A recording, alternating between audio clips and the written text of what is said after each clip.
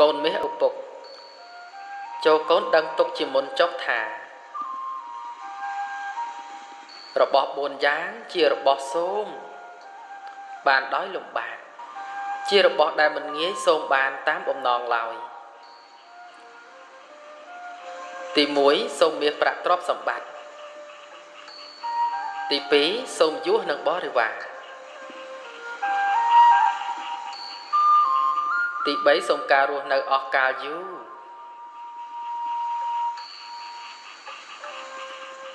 ទី4ក្រោយពីស្លាប់សូមឲ្យបានទៅកាន់សុគតិភព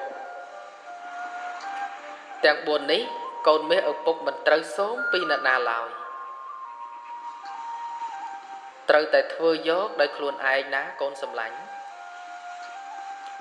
អ្វីអ្វីក្នុងលោករមែងកើតអំពីហេតុហេ